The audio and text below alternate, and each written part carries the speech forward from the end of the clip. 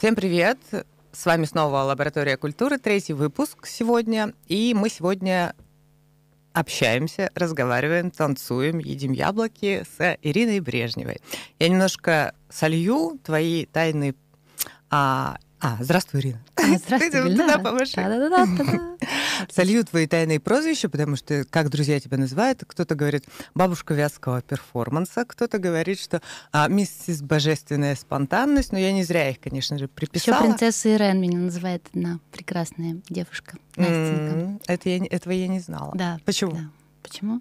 Ну, потому что э, мой муж все время называл меня мама Ира, и поэтому повелось, все друзья меня стали называть мама Ира. Ну, это же просто жесть какая-то. В какой-то момент меня это очень выбесило. Я сказала, так, я не терплю, когда меня называют мама Ира. Я не отказываюсь от этой своей социальной роли ни в коем случае, но Притом при всем она совершенно не единственная и порой далеко не самая приятная в жизни каждой женщины.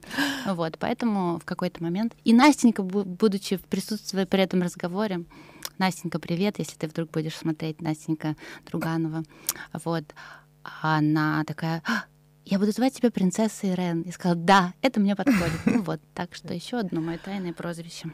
Класс, класс. Нет, но ну я не зря, конечно, упомянула бабушку перформанса и божественную спонтанность, потому что наша программа сегодня будет, собственно, о перформансе. И э, Ирина, как специалист со скольки-летним стажем, я уже вот не могу Давайте сказать. вот сразу же я сейчас снимаю с себя эти все много, много десятков лет. А. И будем еще говорить, мы не просто так, то есть э, у нас такой, получается, разговор не совсем интервью, а мы решили взять за основу вот такую вот книжечку, а Ричарда Шехнера «Теория перформанса 18+.» Но поскольку мы обе понимаем, что мы эту книгу не прочитаем никогда, здесь 500 страниц, ну то есть мы когда-нибудь прочитаем, но не сейчас. Сейчас мы не в ресурсе и вообще в плохом настроении, и поэтому мы будем а, в методом божественной спонтанности, которым Ира прекрасно владеет, а делать небольшие Спасибо такие... Диме Шуваев. Это его? Это он тебя так Это его метод божественной спонтанности. Класс.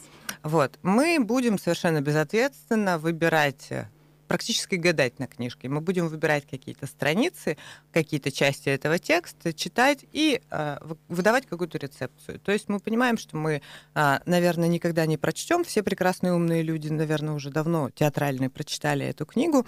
И не наверное, а точно. Я ведь читала прекрасные рецензии на эту книгу. То есть это такая книжка, которая э, является таким программным текстом для всех наших людей, которые занимаются современным театром, там наравне с э, постдраматическим драматическим театром а, Ханси Салемана, да, с которым носились как с Библией какое-то время. 16 плюс возрастное ограничение, я все помню. И даже Эрика Фишер-Лихте, да, которая в какой-то момент стала тоже каким-то таким знаковым текстом, а, эстетика перформативности 18+. Вот, это, это книга из разряда таких же текстов, программы, программы, которые надо знать, но мы поскольку я уже говорила, прочесть ее не сможем целиком, никогда, наверное. Да, одна моя умная подруга сегодня, сегодня утром, не далее, чем сегодня утром, э, на мою фразу, вот сегодня говорим о такой книжке. Да, читала. Ну, скучновато, но полезно. Так что вот реклама книги, о которой мы сегодня будем говорить. Но мы не рекламируем, мы ее читаем и разбираем, анализируем, а делаем какую-то свою рефлексию по поводу этой книги и пытаемся что-то понять хотя бы вот таким вот безответственным образом. Вот. Но сначала все-таки я тебя спрошу, как э, в твоем видении, в твоем понимании, что такое перформанс. То есть не нужно определение, да, чем он отличается от хэппенинга, но вот то, чем ты занимаешься, и то, как ты внутренне видишь, все-таки как ты определяешь его? Ну, я бы начала с того, что, во-первых, сказать, что я прям занимаюсь перформансом, я не могу.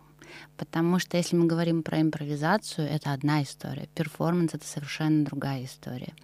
А, он все равно требует совершенно иных подходов, иной структуры, а, иных целей, нежели чем в импровизации. Мне ближе, конечно, импровизация и перформанс, да, как элемент, естественно, он используется и в работах, но вот прям сказать, что перформанс, перформанс, наверное, нет. Но начнем с того, что само по себе слово перформанс, да, то есть он, оно обозначает как некое представление в переводе, и по большому счету перформансом можно назвать любой спектакль, да, ну то есть если брать какой-то вот дословный перевод, но все равно мы понимаем, что у нас в среде это сложилось всегда, говоря слово перформанс, ну, обыватель, который понимает а, хотя бы что-то о неком таком странном действии, называет этим словом что-то, что не очень ему понятно. Как ему кажется, содержащий элемент импровизации, элемент чего-то спонтанного, странного и вот этого непонятного. Но это я сейчас говорю именно с позиции человека, который а, наблюдает за действиями и имеет некий опыт. Вот. Что перформанс является конкретно для меня? Ну, наверное, прежде всего, это желание донести какую-то свою мысль посредством инструментов, которые я себе определяю, и дальше я иду э, в определенную схему. То есть это не делаю, что, что попало, абсолютно нет. Это все равно есть некая структура, есть некий план, есть некая мысль, э, ход которой простроен, но он очень сильно зависит от тех обстоятельств и тех ситуаций, которые складываются на пути из пункта А условно в пункт Б. И даже конкретный пункт А и пункт Б, он тоже может меняться в процессе данного путешествия. Насколько Наверное, мы с тобой так. работали, менялся всегда. То есть от пункта А до пункта Б мы не доходили линейно никогда. Это были всегда какие-то поиски, как какие-то тропки, какие-то повороты, и результат никогда не был, наверное, таким, как мы представляли в начале. То есть это все равно какое-то постоянное изменение. Я э, хотела, наверное, еще спросить тебя. Ты сказала, что а, ты творишь э, теми средствами, которыми владеешь. Это ты имеешь в виду тело, пространство, а, предметы? Что для тебя? Какие это инструменты? Ну, прежде всего, это тело, я думаю. Ну, потому что а, если мы говорим о неком действии, то действие все равно совершает какое-то физическое тело в пространстве и времени. Вот. А дальше я употребляю слово пространство, которое тоже очень сильно влияет на то, что происходит. Необходимым элементом, мне кажется, в любом перформансе является зритель, который ну, очень важным элементом. Опять же, тут можно спорить, говорить про необходимость или необходимость, но все равно представление, оно требует быть кому-то представленным, скорее всего. Все равно вот эти глаза зрителя, они необходимы для того, чтобы совершить этот путь. Ну, важны, да, не буду говорить необходимы. Угу. Конечно же, время. Время как инструмент, с которым мы работаем, понимая, что вообще, мне кажется, умение работать со временем использовать его как инструмент, это умеют далеко не все, и это прям какой-то очень важный, важный инструмент. Если ты им владеешь, то, как говорится, у тебя козыри в кармане. Это прям точно. Вот. Ну, наверное, это какие-то основные вещи, ничего нового я не скажу, и чем я ничего такого не использую, что не использовали бы другие люди, перформеры, которые как бы идут именно в это действие. Ладно, мы с тобой поразмышляли немножко, такие размышлялки. Теперь читай, что же, собственно, под да, перформансом понимает Ричард Шехнер. Хорошую, такую, У него аннотация увесистую, есть. да, историю про перформанс именно этого автора. Сейчас я попробую. О, смотрите, вот еще перформативные яблочки сегодня. Мне показалось, что так прекрасно. Убегая Мы из дома. Будем грызть. Да, мама предложила мне взять немножечко. И я, конечно же, не могла отказать, потому что они очень вкусно пахнут, и у нас тут свой перформанс, как это досидеть до конца и не откусить. Хотя, пока... почему нет? Вполне нет, возможно, пока ты будешь читать, перформанс... я буду грызть, я тебе сразу говорю. я, ты будешь создавать мне прекрасный саунд. Да, кстати, саунд Я буду причмокивать так. Он тоже играет большую роль. Ну, говоря о времени, честно говоря, не, не как саунд понимая, а как раз как какую-то звуковую среду, мне, я за что, скажем, люблю современных композиторов, вот Саша Маноцков, он понимает свою работу именно как владение временем. И ну, я помню, у него в какой-то лекции было, я, э, он говорит, я люблю быть композитором, потому что я с помощью звука овладеваю временем. Я могу говорить вот так, и время замедляется. Или я могу говорить очень быстро. И тут, тут, конечно, спорный вопрос, звук ли здесь, или тело, или, или какие-то другие вещи вот, это, вот эту временную составляющую здесь э, привносят. Ну ладно, я обещала вам а, яблочками немножечко позвучать. Может быть, я это сделала. А пока Ирина позвучит страничками. Ну, я превращаю... Я, мой образ вот такой. Тебе очень идут очки. Потому что последний раз, когда мне нужно было прочитать текст, это был наш фестиваль прекрасный, который, кстати, скоро будет. О, немножечко. А, возрастное ограничение готовь, если не ограничение 12+. Вот. А, я пыталась прочитать текст с телефона, и вот это был перформанс, потому что я поняла в тот момент, что я его не вижу. И мне так ужасно неудобно. Я читала вот именно с этой скоростью, в которой ты mm-hmm. сейчас ну, как бы, как будто бы это что-то очень глубокое и важное, но на самом деле я просто ничего не видела. Это было жестоко. Я поняла, все, пора. Вот, и вот пора презентация моих новых очков.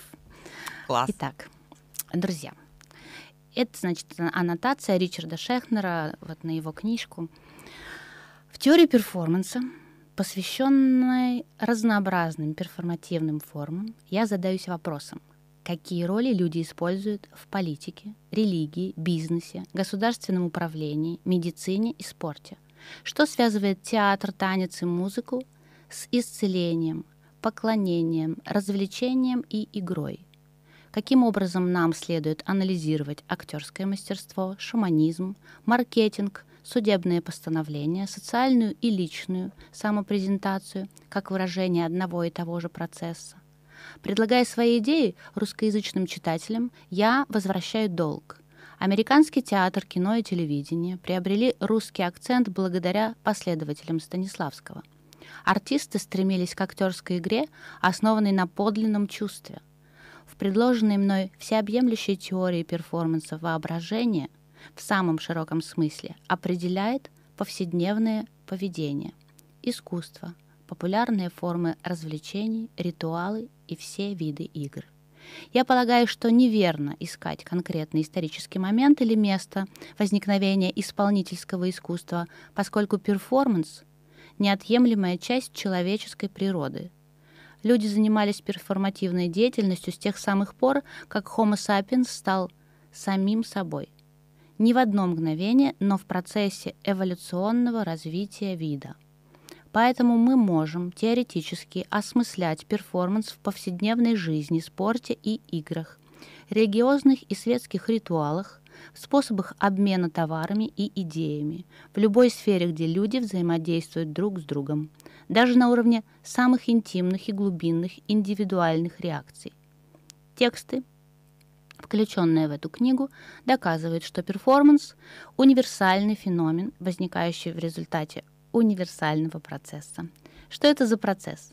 Если сказать в двух словах, воображение — способность человека притворяться, умение одновременно быть собой и быть другим существом, здесь и сейчас, и в то же время открывать невероятное разнообразие возможностей, быть кем угодно, где угодно и в каком угодно времени. Ричард Шехнер, ноябрь 2019 года. Ну, то есть, по сути, в его понимании перформанс это, во-первых, насколько я поняла, это некое социальное действие, потому что оно совершается в любом случае. Даже если ты один на один, да, что ты делаешь, э, представляя себя, другого, а то э, это уже перформанс. С другой стороны, для него важная составляющая это воображение. А, то есть каждый раз что-то воображая, каждый раз включая какие-то вот эти наши способности, э, ты уже совершаешь перформанс. Ну, и еще мне очень нравится слово притворяться. Да, притворяться. Mm-hmm. То есть, когда тоже как... какая-то штука. Перформанс это когда мы общаемся и притворяемся друг перед другом. Такая получается формулировка. Не знаю, мне всегда казалось, ну то есть я, опять же, не помню совершенно ни одного определения, но а, я опиралась всегда в понимании перформанса на а, вот это определение. А, филологическая, где есть перформативы, константативы, и перформативы — это те высказывания, произнося которые ты э, изменяешь, э, то есть э, происходит какое-то изменение, да, то есть ты, а, священнослужитель произносит фразу, вы считаетесь мужем и женой, все, произнеся это, эту фразу, меняется люди, прям меняется, социальный статус. Меняется их. статус, да, да меняется, меняется реальность. Да. То есть реальность, которая может измениться посредством чего-нибудь, тут не только слова, да, то есть могут быть какие-то действия, могут быть какие-то высказывания, что угодно. И если реальность при этом изменилась, это уже перформанс. Вот какое прекрасное, широкое понятие. Ладно, давай более конкретно, может быть, разберем, что он там пишет и какие у него есть мысли глубокие. Ой, страшно брать такую книжечку. Да, да, да. Ты, ты мне открой какую-нибудь страничку, а я Но наш, наш, наша, наша вот этот мысль, которая... Вот я открыла уже что-то, не Спасибо. знаю абсолютно что. Мне очень нравится, что здесь полностью черная страница, а здесь какие-то буквы. И очень много букв. И что написано здесь, никто не знает. Ну, правда, никто не знает. Там есть одна закладочка, но мы там не откроем. Мне там понравилось просто что-то. Когда мы вчера пытались чуть-чуть почитать эту книжку, замечательную. Да. Репетировали перформанс. Да, такой и сейчас, да, мы реально открываем на любой странице, читаем текст и просто пытаемся что-то на эту тему а, как-то поразмышлять, подумать, может быть, как-то это а, попытаться применить к своей жизни, К своему телу. к сегодняшнему моменту и ситуации. И что из этого выйдет, на самом деле, это и есть, наверное, главный перформанс сегодняшний. Ну, да, погнали. мы, собственно, делаем перформанс по книжке «Теория перформанса». Итак, страница 185. Перформанс — не зеркало, которое безмолвно отражает социальные изменения, а часть сложного, двунаправленного процесса, в результате которого эти изменения возникают. Ну, прям то, о чем я говорила некоторое время назад. Нельзя говорить и об эволюционном развитии, при котором театр сегодня становится лучше, чем вчера, а завтра лучше, чем сегодня. В любом случае лучше и хуже термины высшей степени условные. Ну, мне кажется, оценочных категорий в театре, в перформансе вообще как-то очень сложно их туда к ним применить. Это переплетение изображает динамическую систему, порождающую перемены, которые не всегда приводят к совершенствованию или упадку. Всегда существует диалектическое напряжение между тенденциями к эффективности и разли- развлечению. Напряжение между тенденцией к эффективности и развлечению. Не очень понятно, какое это может дальше. быть напряжение. По крайней мере, в западном театре, на мой взгляд, очевидно, что когда эффективное и развлекательное тесно переплетены, театр процветает. Ну, какой-то какой-то результативности говорит. В такие относительно краткие исторические периоды театр служит как ритуалом, так и источником удовольствия. Афинский театр V века до нашей эры, Елизаветинский, а возможно и современный театр, существующий с конца XIX века, примеры такого сближения. Когда на первое место выходит эффективность, представления становятся универсальными, аллегоричными, они ритуализируются и оказываются неразрывно связаны с устойчивым общественным строем. Такой театр может просуществовать относительно долго. Когда главенствует развлекательное, представления ориентированы на представителей определенного класса, индивидуализированы, тяготеют к шоу-бизнесу, постоянно приспосабливаются к переменчивым вкусам публики. Примеры сближения, произошедшие в самом недавнем прошлом западного театра, усиление роли развлечения накануне Елизаветинской эпохи и роли эффективности в современном мире, в структурном отношении, несомненно, противоположны друг другу. Хотя примеры, так- примеры театров того и другого периода могут показаться на удивление схожими, поскольку отражают напряженное равновесие между эффективным и развлекательным. Ну, То есть он проводит тут такое развлече- развлечение между эффективностью, а, которая может быть универсальной, аллегоричной, ри- ритуализируется и связана с общественным строем. Что, что в его понимании эффективность? Но я так поняла, что м, а поскольку они еще ритуализируются, то а, есть какие-то находки, есть какие-то приемы или какие-то тенденции, которые вдруг а, меняют театр, вдруг становятся ну, условно востребованными. Это не обязательно развлечение, да, он пишет о другом. Они становятся востребованными и сами уже становятся неким шаблоном и ритуализируются, то есть принимаются за какой-то канон, и дальше уже, собственно, существуют. Развлека- Я вот, э, я, пере- перебиваю, Да-да. просто сейчас у меня пришла мысль, совершенно недавно было прекрасное событие у нас здесь в городе. Э, Лаборатория драматургическая, сейчас не вспомню, как она называлась, не помню. И не вспоминаю, то придется возрастное ограничение Да-да-да. искать. Ну, неважно, в общем. Приезжал э, прекрасным спикером и гостем э, Николай Калида. Это из Калида театр. Вот, прекрасный человек. а, великолепнейший просто, наипрекраснейший, наивеликолепнейший Екатеринбург. И э, с ним была беседа, и он говорил про свой театр, театр частный, и он рассказывал о том, что вообще так получается, что спектакли в моем театре, то есть они не... То есть я могу очень любить этот спектакль, но если на него не пойдет зритель, ну, причем считается современным драматургом, именно очень таким известным и очень востребованным. И ну, в нашей того, стране. Он, и... Отец да, огромной, да, да, огромной да, школы драматургов. Абсолютно. И, и вот мысли, которые он сказал, что э, спектакли, они сами себя определяют, их э, длительность жизни. Я не могу играть спектакли, как бы я их не любил, но если на них не пойдет зритель, соответственно, этот спектакль играть не могу. Но при том, при всем, мы учитываем одну вещь, что это не шоу, это именно театр, театр, который говорит о проблемах сегодняшнего дня. Вопрос, наверное, в том, как, какой язык выбирается. И есть еще вообще как бы куча каких-то странных моментов, которые невозможно, мне кажется, просчитать до конца на 200%. Ну и, наверное, неинтересно.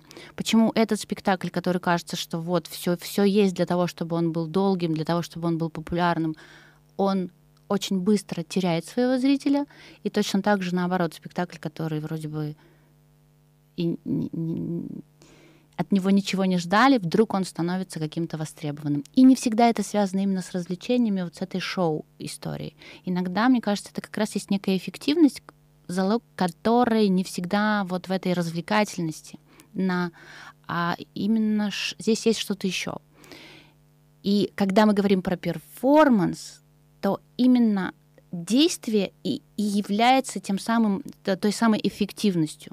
Действие, которое увлекает, и, в, и зритель как бы вместе с человеком или людьми, перформерами, вместе проживает какой-то их опыт, вместе с ними делает некий выбор, вместе с ними проходит этот путь, а, подключая свои зеркальные нейроны очень часто, а, проживает этот совместный опыт, да, то есть вот такая какая-то интересная штука, что оказаться вдвоем на событии, это прям, это здорово, когда тебе потом есть этот человек, с которым ты можешь поделиться этим пережитым вместе, вот этим совместным проживанием. Вот. И мне кажется, перформанс отчасти он как раз и дает какой-то это, вот, этот опыт. Именно сейчас я говорю для зрителя. Зрительский какой-то такой опыт хороший, важный, нужный. Все время буду говорить, особенно сегодня. Ну, я сейчас вот не к тому, что мы прочитали, а к тому, что ты говорила сейчас и перед этим о зрителе, о, о а, наблюдателе, когда ты меняешься, да, сам уже в присутствии того, кто на тебя смотрит. И это а, если, опять же, вспомнить Фишера Лихта, она объясняет это через теорию систем, через а, так называемый у нее термин петля обратной реакции. Я Эту книжку читала много лет назад, поэтому помню только про эту петлю обратной реакции и выпендриваться особо не буду, потому что... Все, уже выпендрилась Но, ну, а петля а... обратной реакции, запомните. Мне просто очень нравится, что она как раз, опираясь на Лумана, строит свою вот эту систему, довольно такую базовую. А Лумана я очень люблю, и поэтому Фишер Рильх это тоже хорошо. В следующий раз ее почитаем обязательно. Вот, и это как раз про необходимость и невозможность а, вот этого действия совместного без а, кого-то, кто рядом с тобой, да, это не обязательно зритель, может просто человек, находящийся рядом, и э, вот эта петля, она это совсем другое, другого рода, скажем, а, событие, э, чем а, какая-то там повседневная, в повседневности происходящая штука. Вот, вспомнила что-то. Давай дальше, теперь ты будешь читать? Сейчас я тебя выберу. Сейчас я тебе выберу страничку. Ой, а тут фотографии открылись. Смешных таких вот. Ну, значит, мне можно не читать. А актер в гриме перед исполнением Кат Ка Кат Ха Кали. Вот. Нет, мы сейчас найдем тебе другую. Текстик, текстик, да? Вот тебе масштабы перформанса. 421. Если не понравится, можешь вот ту, которая тебе понравилась, страничка с закладкой. А все уже, одна. вот читаю уже нравится? то, что... Не знаю, пока не понимаю. Давай. Прочитала три слова. А, в повторяющихся сигналах, которые особь получает от предводителя собственного вида, есть нечто такое, что приводит к высокой степени возбуждения конечностей. В повторяющейся ритмической стимуляции присутствует что-то, что при определенных условиях может привести к необычному состоянию нервной системы, когда обе автономные подсистемы, симпатическая и парасимпатическая, достигают высокого уровня разрядки, возбуждения высшей нервной системы. Вызывает столь сильное перенасыщение эрготропной, ответственной за энергозатраты системы, что возникает не только одновременное возбуждение трофотропной системы в результате своего рода избыточного воздействия, но в редких случаях еще и максимальная стимуляция, так что обе системы подвергаются, по крайней мере, на короткое время интенсивной стимуляции. Mm-hmm. Интерпретируйте это. Интерпретируем это. Я сейчас еще. Подобная максимальная стимуляция порождает то невыразимое чувство, которая порой сопутствует не только религиозным ритуал, ритуалам и уединенной медитации, но и всевозможным сборищам разного масштаба. От футбольных матчей до занятий в театральной студии, на которых я обучаю актеров тихому ритмическому речитативу. Ну, мне кажется, здесь довольно понятная такая мысль. Да. Он говорит принципе, о том, о чем тоже мы с тобой частично говорили, о каких-то коллективных действиях. А, видимо, он изначально где-то там чуть раньше, может быть, писал о каких-то племенах или даже, может быть, о стаях о животных. И здесь довольно простая мысль про какие-то коллективные действия, еще ритуальные, которые совершаются синхронно, и иногда там у наших первобытных предков, э, когда происходит вот это вот в одномоментном ритмичном каком-то движении, танце, э, произнесении, выкрикивании каких-то а, заклинаний, когда происходит такого рода особое состояние, которое действительно сейчас можно, наверное, пережить и в театре, и на стадионе, и при любом каком-то коллективном действии. У социологов это называется эфервесанс. Моя любимая такое да, красивое я помню словечко. это слово, которое я узнала именно от тебя, эфервесанс. Да. Хоть чему-то хорошему я тебя научила. Хоть чему-то, да. Вот. Да, вот этот момент, то есть мне кажется, что да, даже вот то, что сейчас мой был длинный монолог до этого кусочка, как раз про это совместное проживание.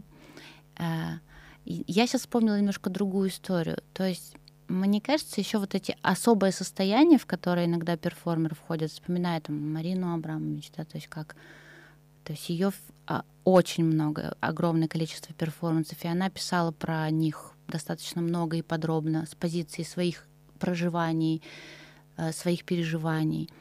А, это все равно какое-то определенное состояние. Но с другой стороны, актер, выходя на сцену, то есть как бы он вначале не отделялся, то есть есть там да, персонаж, есть человек, да, и есть некое, соответственно, вот это какой-то момент соединения, когда одно соединяется с другим. То есть я не выхожу этим уже персонажем, я выхожу собой, в какой-то момент, особенно современный театр дает эту возможность, и в какой-то момент мы соединяемся. То есть тот а, персонаж, та роль, которую, собственно говоря, я сейчас играю, и я как человек. Вот классно срабатывает, если я нахожу этот момент соединения. Когда я во мне остаюсь я, но при этом появляется еще какой-то другой вот этот самый персонаж, который дает мне возможность прожить что-то, что, может быть, я, будучи просто собой, не мог бы прожить. Но такая же точная история и в перформансе тоже. То есть она, она таки происходит. Но только, может быть, ну, разобрать это с позиции театра немножко проще, потому что есть вот роль, есть еще. А тут есть это состояние, в которое человек входит, и вот эти состояния все, где реально с одной стороны, человек, там, находясь в ритуале, он тратит огромное количество энергии, с другой стороны, он подключается к какому-то другому источнику энергии, который, помимо всего прочего трачения этой энергии, он еще и наполняется этой энергией. Получается вот такой вот петля, опять же, это же самое. Ну, то есть, ну, чуть-чуть сейчас, сейчас про другое говорю. Вот. Происходит какое-то это обновление. Потому что и в плане медитации, и в плане трансовых состояний это всегда работа вот с этой энергией. И если говорить про поле, например, моей деятельности, все-таки это связано с танцами, с телом, это, мне кажется, такая же точная история происходит. То есть в какой-то момент, когда мозг тебе говорит, все, хватит, ты устал, ты говоришь, нет, я, это иллюзия, усталости нет, усталости не существует. И очень круто, если ты умеешь вот не зря же говорят про второе, третье дыхание, которое открывается. И это, это, это работает, но тогда, когда мозг перестает сопротивляться, Но до этого состояния тоже нужно дойти. Интересная, короче, история. Давайте еще почитаем Шехнера. Мы тут можем много говорить какой-то интересной воды. Давай, сейчас моя очередь. Ты открыла? Да. Что? Забой свиней. Я не хочу про забой свиней. Давай другую какую-нибудь. Ну, Хорошо. Давай Про забой свиней мы не будем читать. Я не хочу сейчас. Вот тут ничего нет, никаких опознавательных знаков. Начинай читать просто текст, текст, текст, практически даже абзацев нет. так. Ткни себе пальчиком в книжку. Ну, глава от ритуала к театру и обратно. Ну, вот здесь вот с единственного, пожалуй, абзаца я и начну. Индустрия туризма оказала несомненное влияние на так называемые аутентичные представления на острове Бали и в других регионах. Я ничего не имею против этих перемен. Изменения в общепринятых правилах, темах, методах и стилях возникают из оппортунизма, давления публики, профессионализма, который сам по себе нередко оказывается новшеством, достижений техники и прочих последствий культурного взаимодействия. Туризм приобрел важное значение и мировые масштабы лишь когда появились дешевые авиабилеты. Этому предшествовали столетия массовой миграции, вызванной экономическими обстоятельствами, войнами и колонизацией. С самого начала истории своего вида человек всегда был в движении. Однако массовый туризм – особое явление. Люди находятся в движении, потому что ищут удовольствий, а их путешествия превратились в краткосрочные экскурсии. Поэтому развлечения, предназначенные для туристов, сочетают в себе качество чужого и домашнего. Турагент старается превратить странное в знакомое, создать эффект обратного отчуждения. У него даже так интересно написано «отчуждение». Не отчуждение, а отчуждение. То есть чужого сделать о, о, о, о, отчуждения. Ладно. Когда-нибудь историки театра оценят влияние туризма не менее важное, чем взаимообмен между Англией и континентальной Европой XVI-XVII а, веках. В театре принято подражать популярным заимствованным стилям. Местные исполнители откликаются на требования богатых гостей. Порой стремление к новому исходит от местной публики, усвоившей чужие вкусы. Ну, видимо, здесь он описывает какой-то процесс взаимовлияния, то есть старается вроде бы безоценочно описать те вещи, которые происходили в ну, сообществах, сохранивших до модерновое состояние, и, и как а, меняются их ритуалы и практики с появлением большого количества опять же, зрителей, да, но здесь они довольно специфические, это туристы. То есть это все-таки на продажу, это получается какая-то экономическая составляющая. И как эти практики и ритуалы, а, с одной стороны, наверное, а, профанируются и передаются уже в каком-то видоизмененном таком виде. И наверняка сохраняется что-то, что а, остается сакральным все-таки, не, не передается для всех. А с другой стороны, как происходит вот это вот взаимообогащения, да, пусть на уровне бус и каких-то там прыжков таких условно схематичных, танцевальных, но тем не менее, вот, про что-то такое, мне кажется. Ты как думаешь? Да, ну просто мне интересен момент, то есть если, например, эти обряды и ритуалы существуют внутри племени, с одной стороны, там присутствует зритель, то есть далеко не все принимают участие, но с другой стороны, все равно все понимают суть и все участвуют, и как таковых зрителей нет. Как только появляются вот эти самые чужаки, угу. появляется вот это наблюдение со стороны, и любой ритуал, он становится именно вот этим уже перформансом, причем даже спектаклем. Угу. Угу. Такая какая-то интересная штука.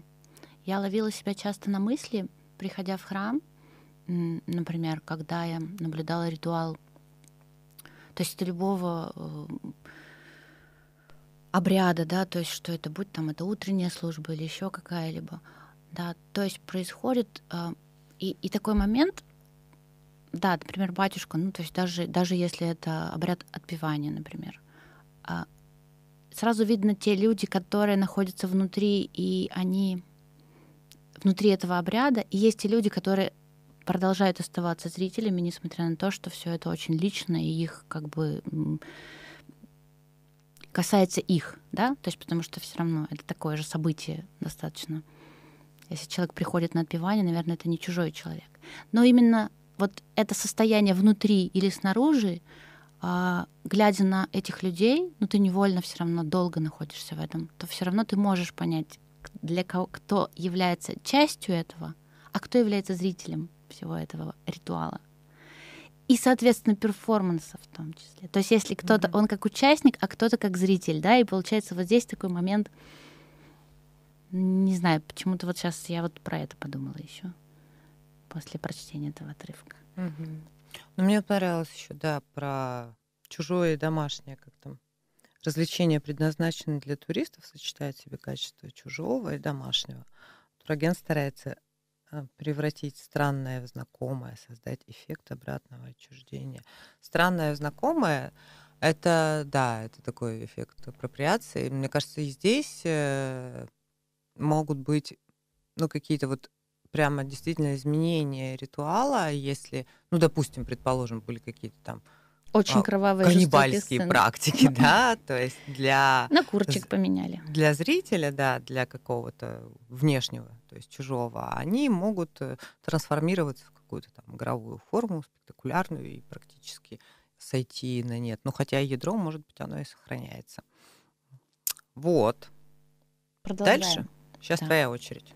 Или подожди. Да, да. твоя очередь. Читаю я, выбираешь, открываешь. Ба-бам. 63.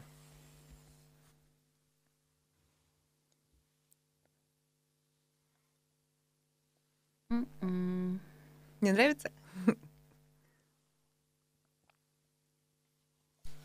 Как я понимаю, что это а, какая-то какой-то ритуал здесь описан. Так, где же мои перформативные очки? Мой образ. Придает немножко, так сказать, ума. Ну, ты вдвойне меняешься с ними. Ты, когда вот у нас какая-то запись или интервью, ты уже э, всегда выпрямляешь спинку, говоришь иначе, а когда надеваешь очки, у тебя еще, еще больше изменений. Еще прямее спинка.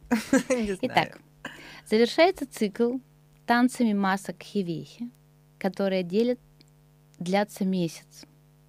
За долгие недели тяжелых трудов племя сумела запастись едой.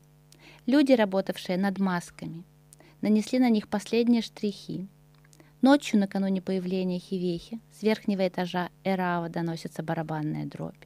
Перед рассветом у десятиметровых двойных дверей Эрава собираются женщины и дети. Внезапно барабанная дробь прекращается.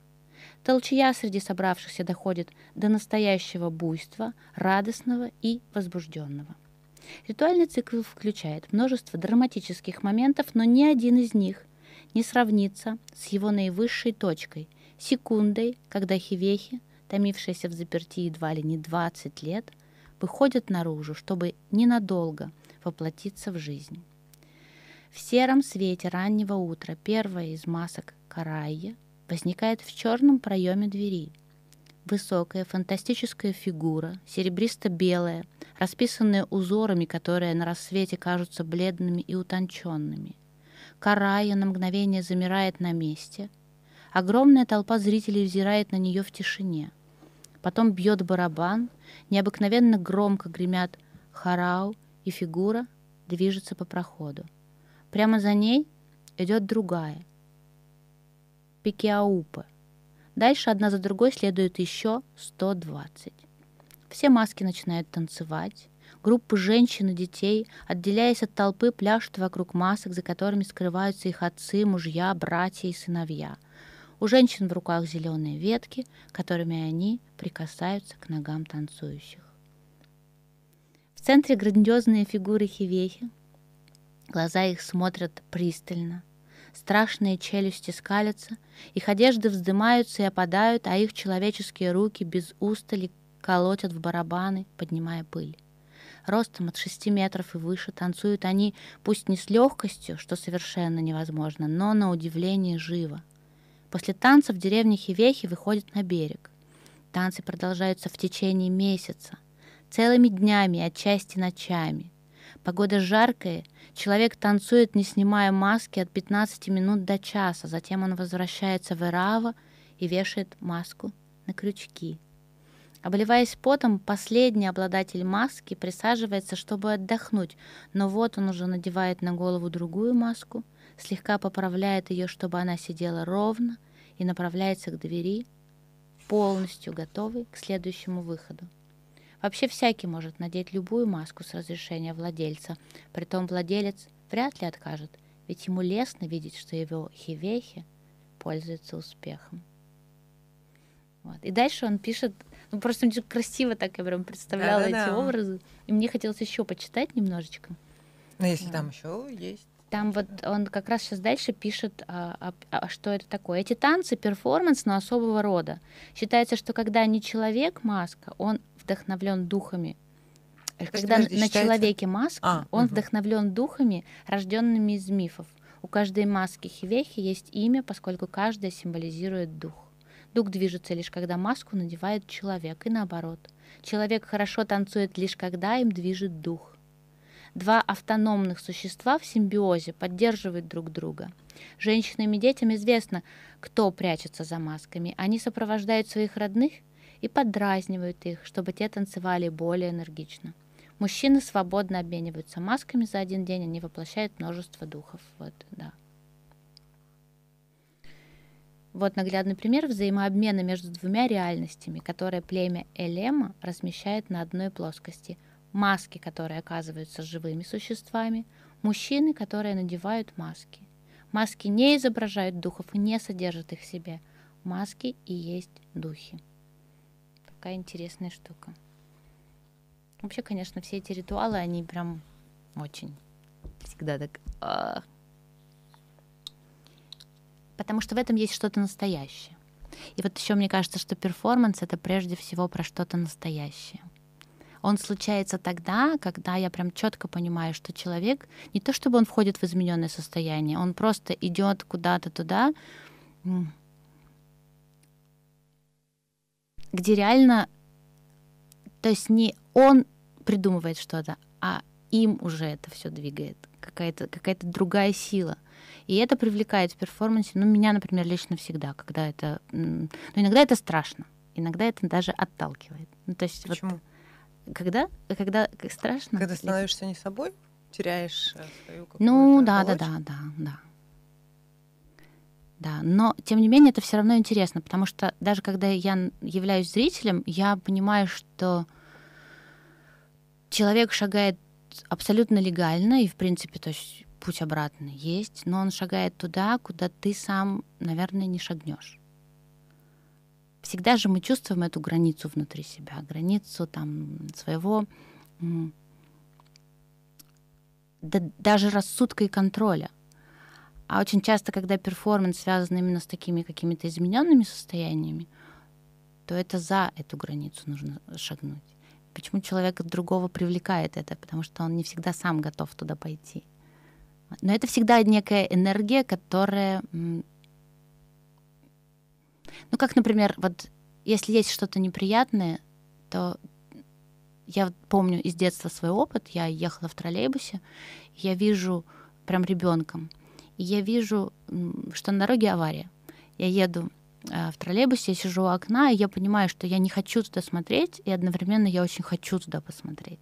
Потому что я понимаю, что там, ну, это секунда, когда ты можешь отвернуться и не посмотреть, или ты все равно посмотришь туда, понимая, что это и страшно, и неприятно. И я помню, что я смотрю, я все-таки поворачиваюсь и вижу это ту же секунду я отворачиваюсь и думаю, зачем я посмотрела, но вот этот момент, ну как бы вот это, ну в нас это есть, и поэтому перформанс, он как раз как будто бы он и подзуживает и стимулирует вот эту, эту, эту черту человека, когда он идет в эти зоны. Ну, ходит, да, за границы Но повседневности. далеко не всегда это так. Далеко не всегда это прямо работа с такими крайними состояниями. То есть иногда это про другое. Я тут вспомнила, была когда-то несколько лет назад такая пресс-конференция, там много участников, и называлась она, по-моему, за границами театра или что-то такое. И там в качестве гостей, в качестве экспертов был Клим со своим, э, ну, скажем, соратником. И они ездили, ну, опять же, вот куда-то к аборигенам, а, тоже исследуя или делая там театр или какие-то практики такие совершая. И Клим начал о чем-то говорить, а вот переходе за границу, а вот этот его коллега, странный, он такой смешной был, знаешь, какой-то такой волосатый, как сумасшедший физик. Откуда-то выскочил так из угла и говорит, не смейте, даже не думайте туда за эти границы шагать. Вот вы тут говорите о том, как перейти границы театра, не ходите туда. Знаешь, ну, это было, ну, нет, это не было похоже это на были, театральность. Это были слова человека, побывавшего за границами. Видимо, да, да, да. Но поскольку, знаешь, рамка, ну, во-первых, театральные люди, во-вторых, пресс-конференция и вот эти вот фреймы, они все равно а, отдаляют от тебя этот опыт. Наверное, я бы с удовольствием пообщалась с этим человеком а, вживую. А то, что здесь написано, это, ну, прям классно, да, про ну, это прям основа основы театра, театра масок, то, о чем здесь описано, то, что маска а, не является предметом, да, не является каким-то объектом, волшебным предметом, который дает тебе какие-то силы, а сама по себе является духом, сама по себе является каким-то духом предка. И вот этот симбиоз, да, то есть перевоплощение в а, кого-то другого при взаимодействии с маской, это до сих пор, мне кажется, есть живо и в театре. Да, и это будет пользоваться все равно вниманием э, зрителя.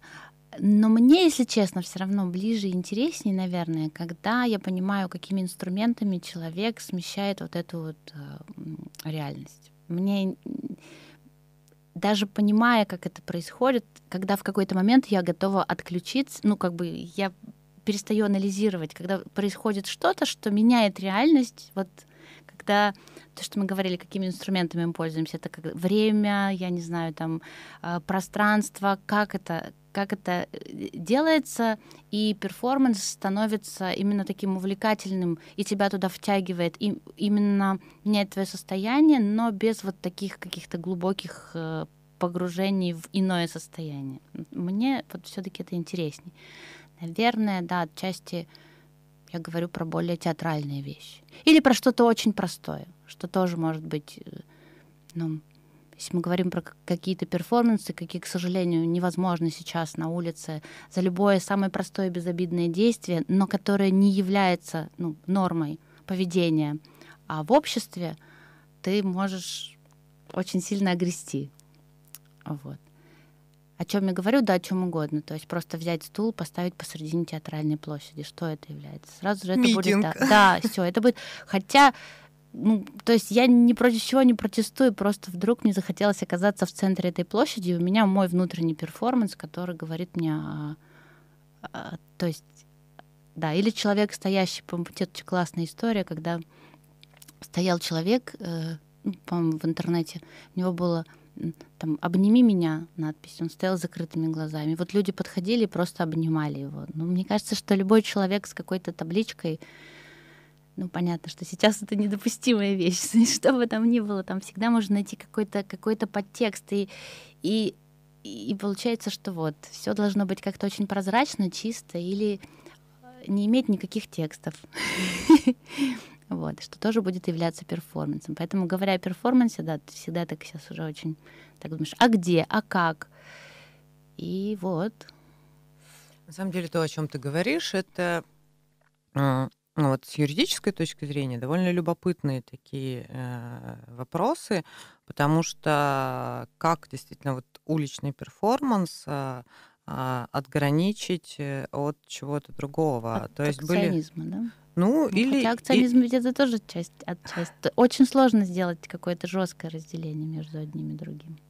Ну, а вот в прецедентном праве такого рода штуки были, и, например, а, я не забыла, конечно, в какой стране, в каком году, но один из э, а, каких-то политических, в общем, деятелей проник в здание, ну, условно, какой-то институции, опять уже не помню какой, и при нем было то, что показалось оружием. На самом деле это был э, игрушечный, ну, там пистолет или автомат, но все равно его а, осудили, ему, а, по-моему, вынесли приговор а, на том основании, что уже какое-то там время назад было был прецедент, и э, нельзя, там было какое-то правило, какая-то поправка, что нельзя появляться условно там в общественных местах с даже игрушками, подражающими оружию а, определенного цвета, то есть можно появляться там с яркими, желтыми, красными там какими-то еще, да, да. Угу.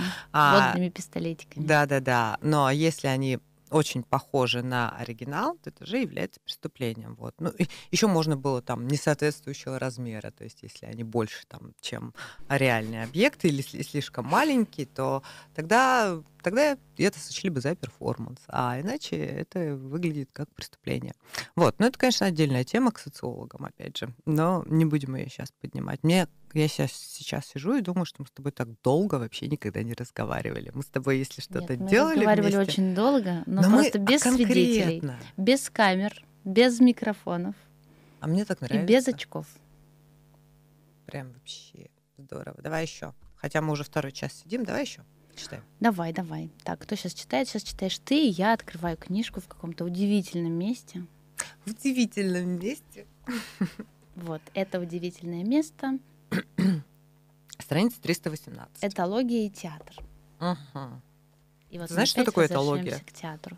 Ты мне уже что-то говорила, но я, конечно же, забыла. Я тебе не могла сказать, потому что я сама не помню, если честно. Мне кажется, что мы вчера прямо про это что-то такое говорили. Угу. Так, ну здесь какой-то методики идет немножко, здесь даже немножко очень сильно вырвано из контекста, но попробуем сориентироваться. Однако это не поиск фиксированных готовых идеограмм, как в пекинской опере, где актер, чтобы изобразить цветок, выполняет специфические и неизменные жесты, идущие из глубины вековой традиции. Новые идеограммы следует постоянно искать, и их композиция появится немедленно и спонтанно.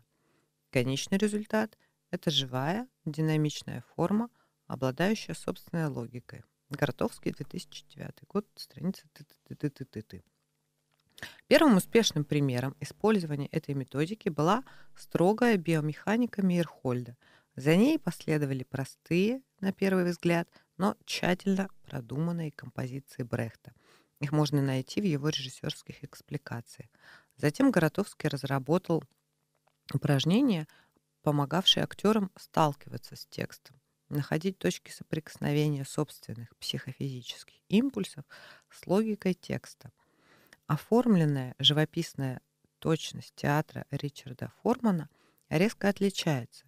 В ней нет ничего спонтанного. Форман сознательно подчеркивает, что его постановки продуманы заранее. Для образной системы Уилсона характерны замедленные движения – которые зрители способны предсказать из-за траектории которых они могут следовать во времени и пространстве. Вдобавок, некоторые движения повторяются множество раз, и зритель вынужден обращать внимание на разные аспекты одного и того же действия. Похожим образом организованы постмодернистские работы таких хореографов. Так, ты не снимай там на камеру, а слушай, сейчас про хореографию будем говорить. Таких хореографов, как, например, Дан, Форти, Джонас, Пэкстон, никого не знаю. Ты знаешь кого-нибудь? Пэкстон. А также перформансы Алана Капро, ладно, этот знакомый чувак, и многих других. В них обычные человеческие действия изолируются, смещаются, останавливаются, замедляются или ускоряются, повторяются. Выража, выражаясь этологически, ритуализируются. Так, давай про танцы и про хореографов. Чего ты думаешь по этому поводу?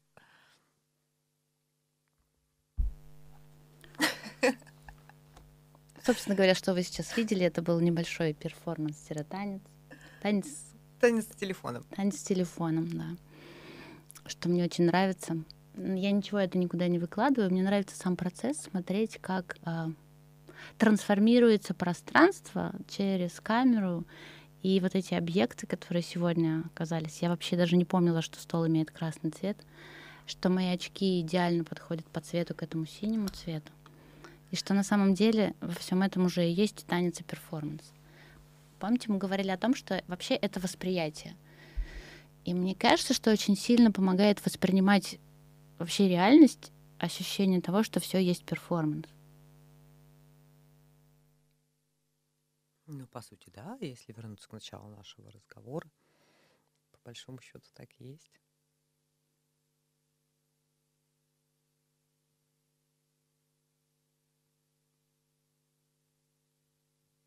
Я сейчас попробую открыть еще одну страничку, выбрать ее себе сама и прочитать. Что это будет, я не знаю. Просто я чувствую, что сейчас мне надо что-то прочитать.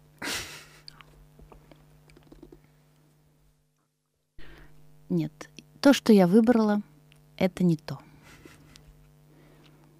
Вот пусть будет это.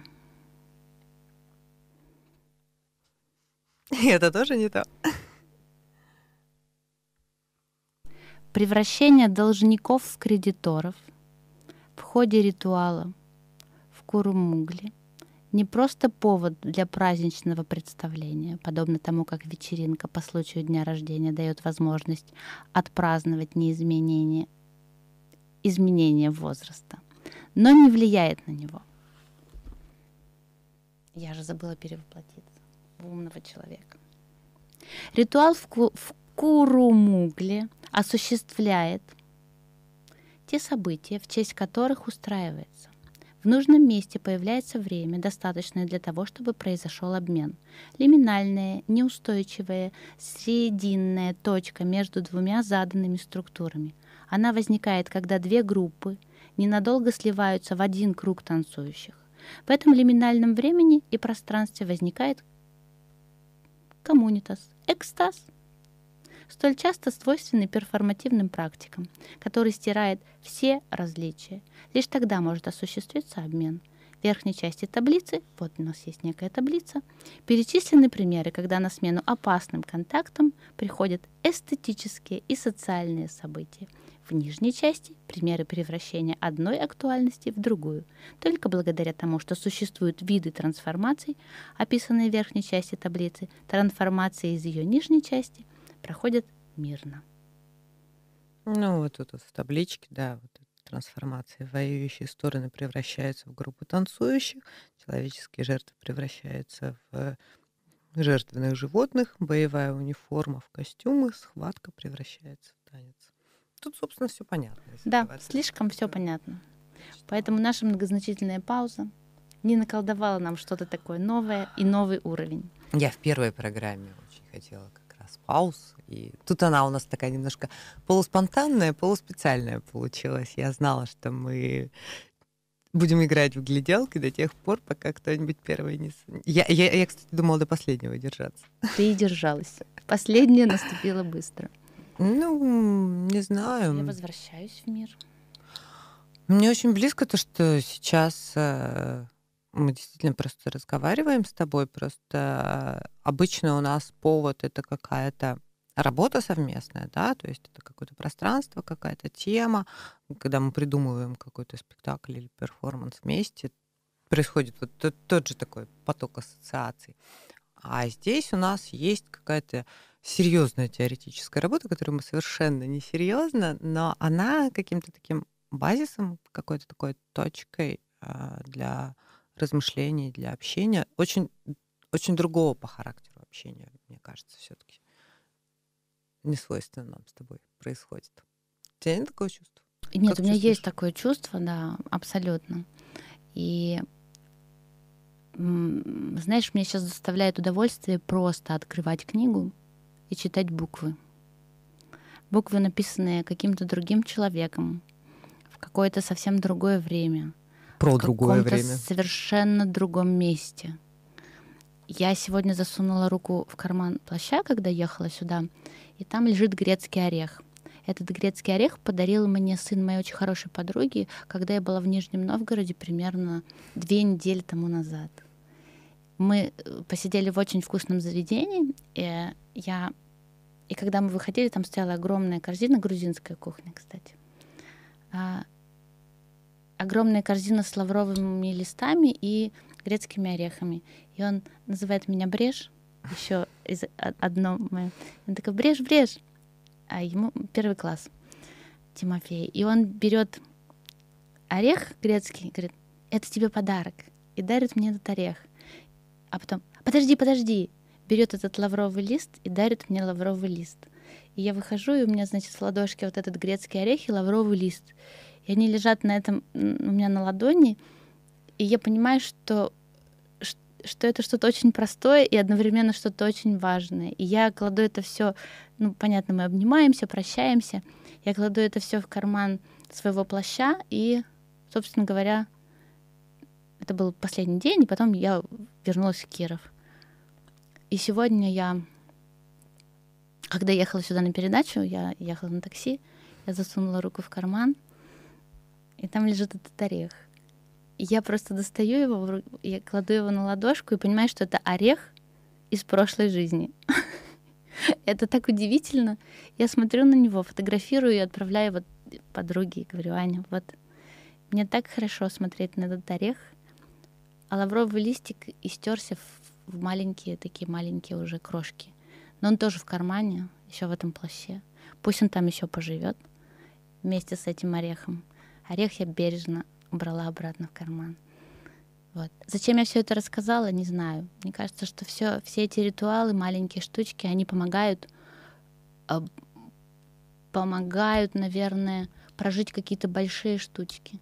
Вот эти два яблока на столе, мои новые синячки, которые подходят к этому синему столу. Блин, это все перформанс какой-то. Перформанс микрофон, который на тебя смотрит, или ты на него смотришь.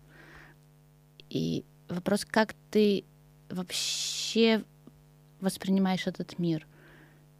И это слово перформанс, о котором мы говорим, я вдруг поняла, что это какое-то спасение. Да! Да! Это реально в какой-то момент это становится спасением. То есть тебе нужно надеть очки, которые называются перформанс,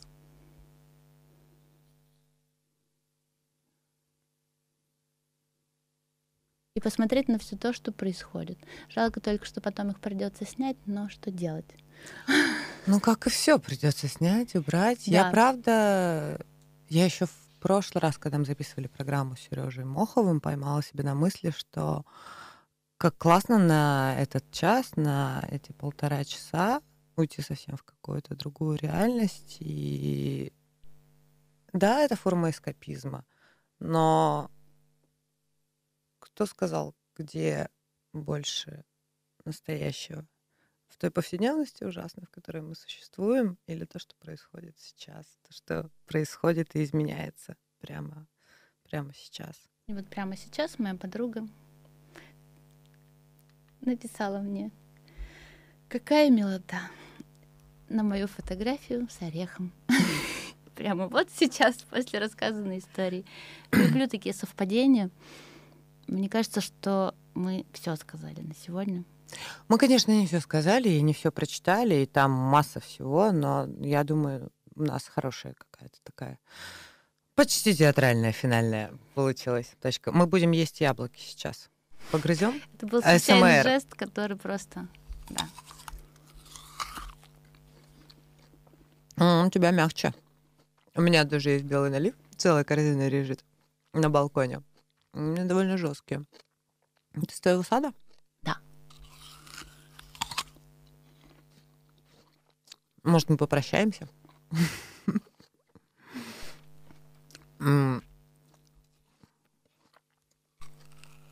Сейчас я прожую и скажу. А я прошу прощения у тех, если кто-то подумал, что мы проявляем некое неуважение к зрителю или еще к кому-то.